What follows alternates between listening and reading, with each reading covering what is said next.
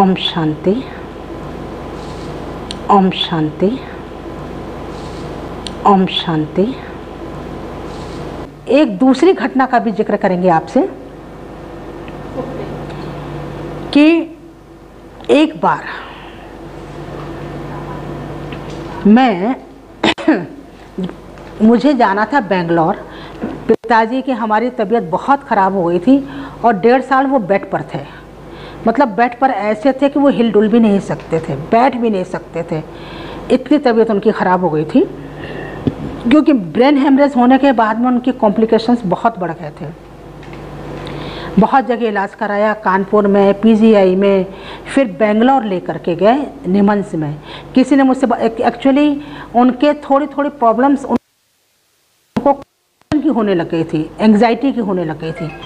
तो किसी ने हमें बताया कि आप बेंगलोर में ऐसा है निमंस में, जहाँ पर बहुत अच्छी तरह से ट्रीटमेंट हो जाता है तो उनको बेंगलोर लेके जाना था। अब बेंगलोर लेकर के जाना है तो हम लोगों का जो खान पान है, वो तो शुद्ध है।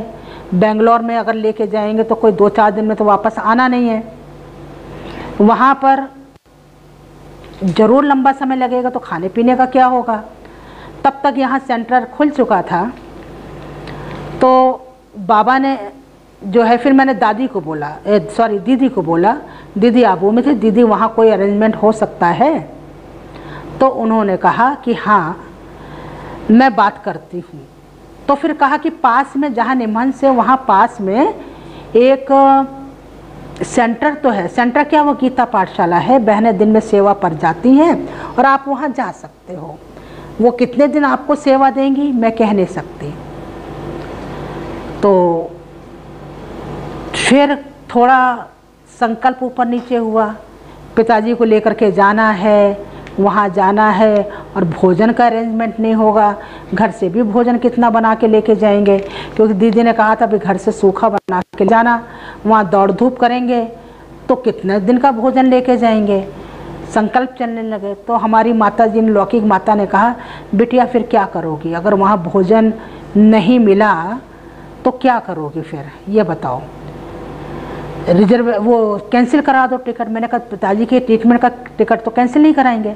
कहा, फिर क्या करोगी? बाहर का, खाओ। मैं, एक तो पिताजी की बीमारी, ऊपर से ये और समस्या। मैंने कहा कि, देखिए, मेरी तो मेरा नियम तो नहीं है ना ये? ये बाबा ने नियम बनाया है ना? तो बाबा जाने, बाबा का काम जाने। और नहीं अरेंजमेंट होगा तो बोली, फिर बाहर का खा लोगी? मैंने कहा, ज़रूर खा लेंगे। मैंने उनको बोला ऐसे। मैंने कहा भगवान ने बनाया ना नियम? मैंने नहीं बनाया। तो फिर वो जाने। और आप लोगों को बताएँ, वो बहन, जो उस गीता पाठशाला की बहन थी एक मास, पूरा एक मास, उसने हमें भोजन हॉस्पिटल में भी तो इसलिए बाबा कहते हैं, वाह, हमारा परिवार, वाह बाबा, वाह वाह ड्रामा वाह। हम पहले से ही संशय बुद्धि बन जाते हैं, सोचने लग जाते हैं, क्या होगा, कैसे होगा? मगर वो बैठा है ना। उसने जिम्मेवारी उठाई इस तरह से हमारी जिम्मेवारी उठाई और कदम कदम पर मदद मिलती रही। अब बिल गई हूँ। आप